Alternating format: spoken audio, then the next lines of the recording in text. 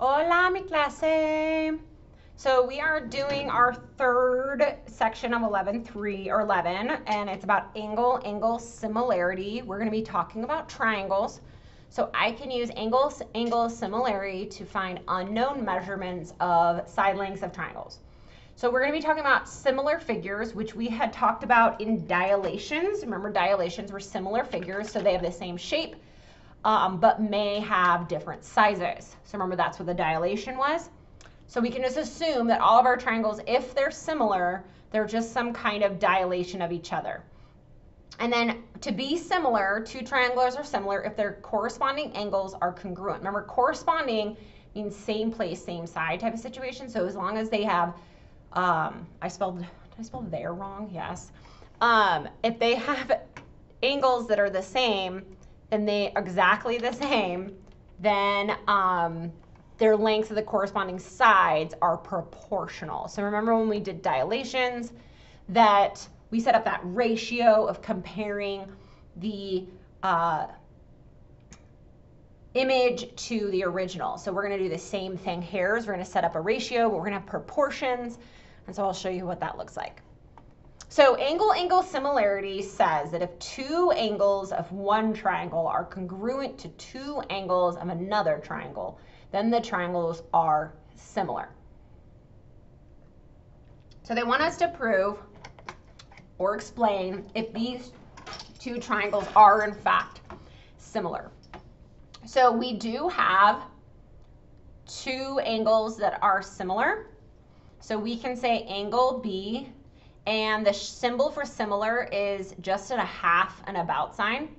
So this means,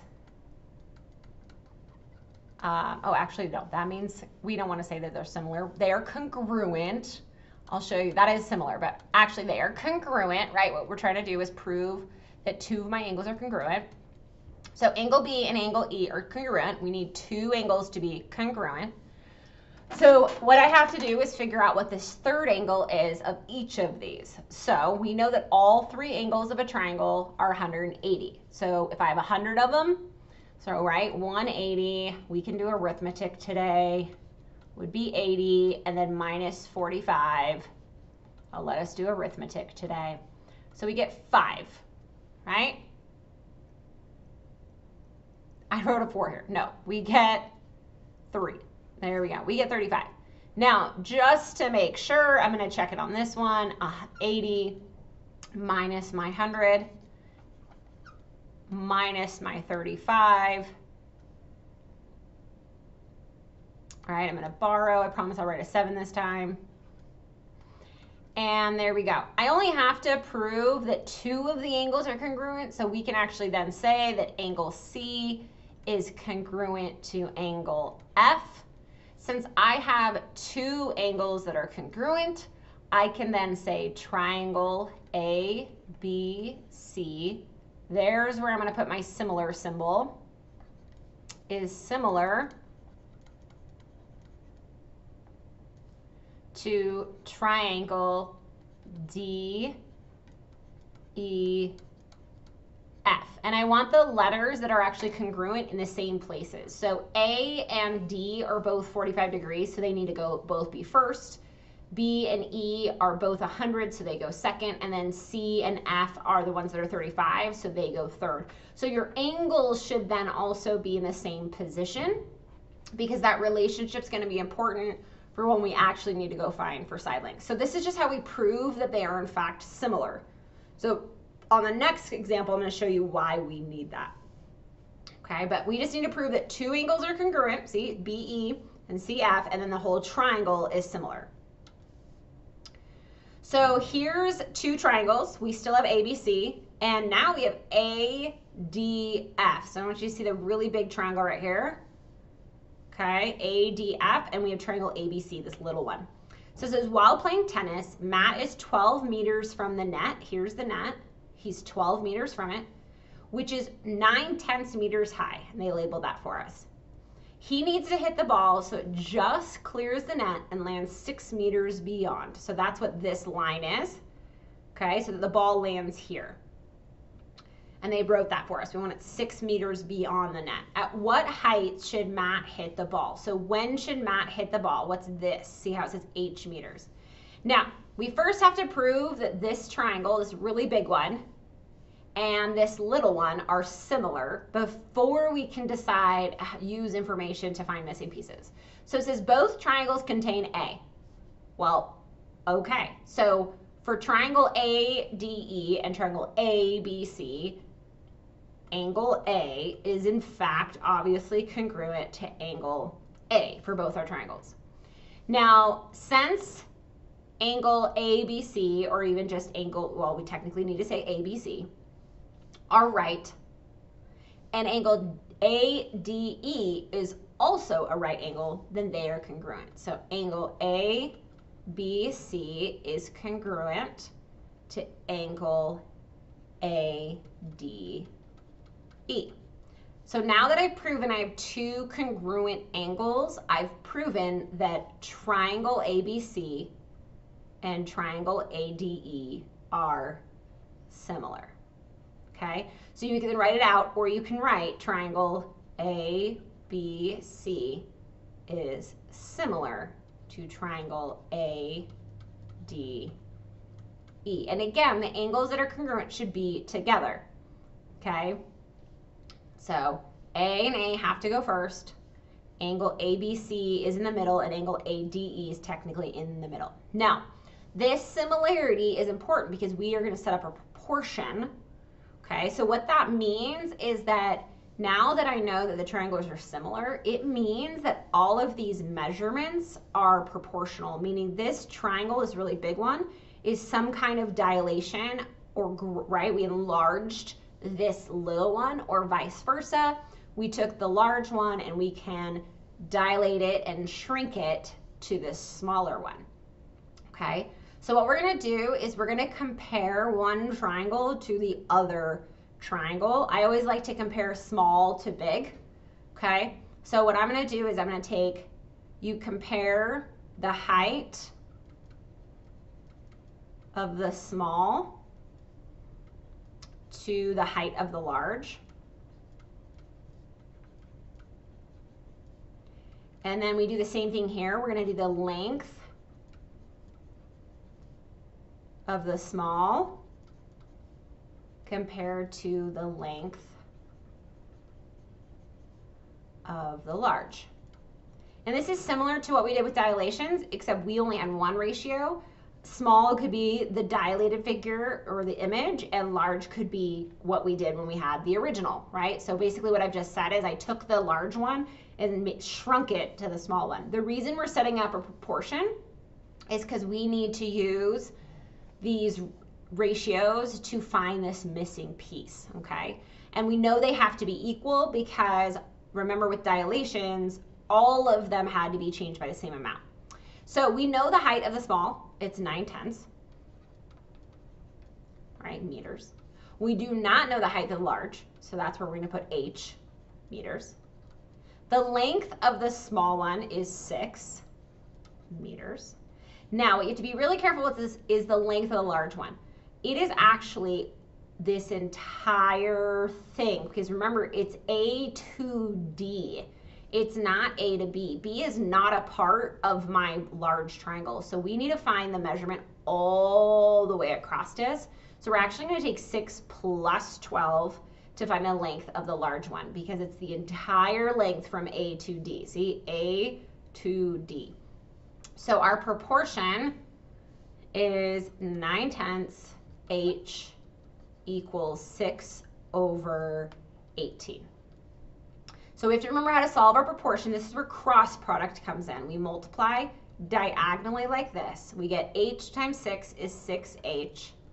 And then you can use your calculator, and we're going to do 9 tenths times 18. Okay, and that gets me 16 and 2 tenths. Okay, if you want to check me, do 9 tenths times 18 in your calculator. And then we just solve this like a one-step equation. We go divide by 6. So I'm going to divide by 6. And we get that the height of the large shape or the large triangle is two and seven tenths. So at what height should Matt hit the ball? Two and seven tenths meters. I added too many E's in there, but so that's what this is. He should hit it as soon as it's at two and seven tenths, and then it will perfectly cross over this and land six meters over here. Okay, we're gonna do another one.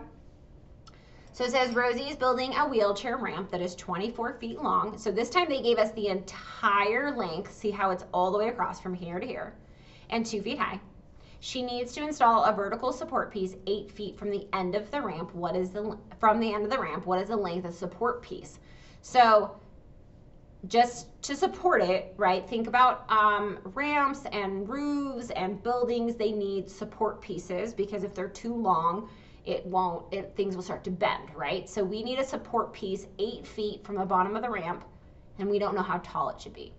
So we can say that these two triangles are similar because they share this angle. It's very, it's identical to the last one we did.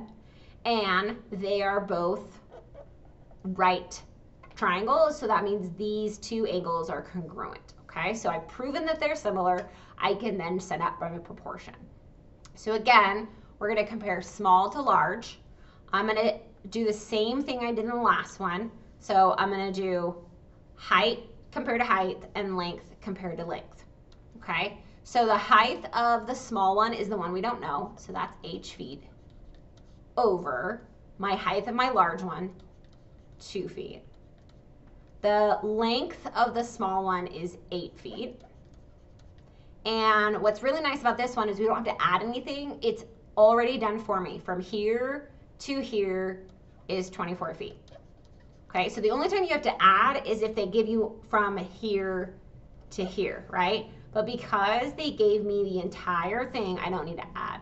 So I'm just gonna multiply across. I'm gonna get 24H equals 16. I'm gonna divide by 24, right? One step equation. And in my calculator, it gives me a really long repeating decimal. Um, and that's okay. We can we know how to write those. So we would say H equals, and it's 6 tenths repeating feet. Um, another way you can do it is set it up as an actual fraction in the calculator. So if we use it in class. And so we can also say it's 2 thirds feet. So that's what how tall this is going to be to make sure it supports, okay, that's where it needs to be.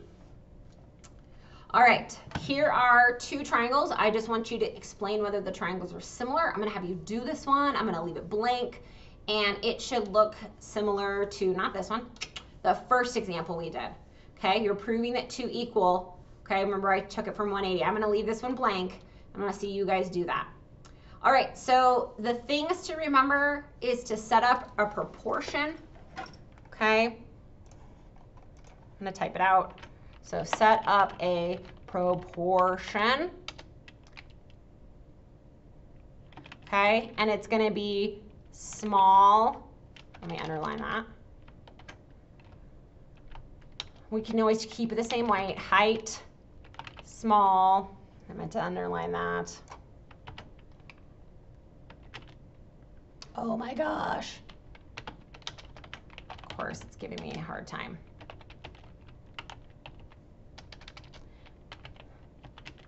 You guys can't spell, can't do anything. There we go. Equals. We'll put length small because I'm doing the computer.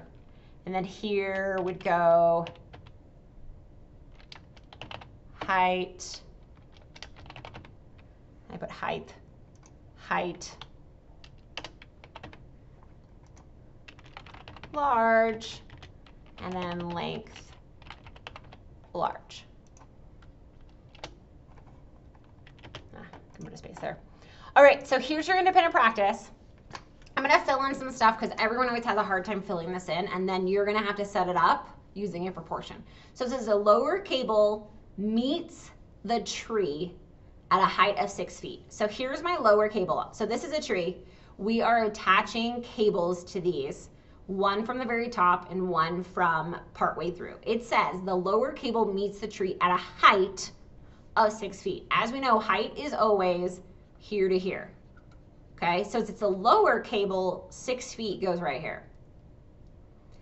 And extends out 16 feet from the base of the tree. So what they're saying is from the base of the tree to the lower cable is 16 feet. If the triangles are similar, how tall is the tree? So what you're trying to solve for is this, the large height, okay? You're trying to solve, let's see if I can get a color in there that you guys can actually see, is this height right here, okay? The height of the tree. Okay, I'm gonna fill that in for you. So you have your small and your small, you need your height of your large, and that you have the length of the large. It's already done for you all the way across, okay? So no adding in the in the independent practice, okay? But make sure you put the height where it says height of large, okay? All right, until next time, adios.